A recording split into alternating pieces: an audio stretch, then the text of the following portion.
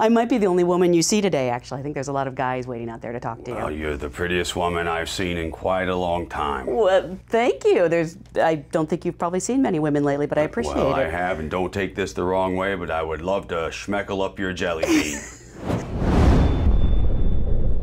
I, I, I have heard that I am your type. You're a bit of a chubby chaser. oh, no, you are. I'm a, I'm a bit of a lovely chaser. You are absolutely lovely. I appreciate that. Make old Irving harder than a turnbuckle.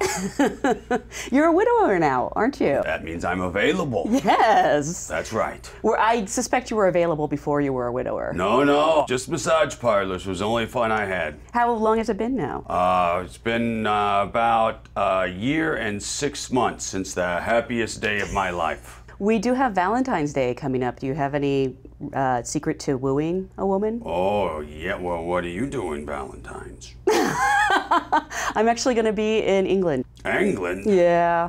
England can kiss my ass. are, are you with a, a significant other? Uh, no. No. All right, actually. looking good for me, fellas. I think I might be too old for you. No, you're just right. How old do you think I am? I bet you're uh, 32.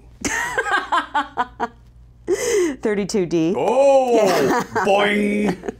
Hey-ho. Another thing we have coming up, uh, the Oscars. Do you watch? Uh, oh yeah, I love that Helen, Helen Mirren. There's a movie nominated this year about an old man on a road trip from Nebraska. Oh yeah? Yes, starring Bruce Dern. Wow.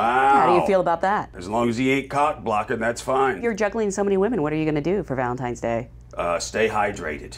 You gotta stay hydrated, that's the key. Little advice for you. Uh, I was actually going to ask about advice. Um, the secret to your longevity. well, uh, water-based lubricant is good, and uh, the young ladies have treated me well. And the older ladies, 18 to 80, I don't mind. But 80's the cutoff. Yeah, it's a discussion.